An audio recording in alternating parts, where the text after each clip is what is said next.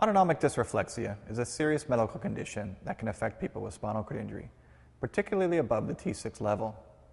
You should be aware of the symptoms of autonomic dysreflexia and know what to do about it, especially if you have an injury above T6.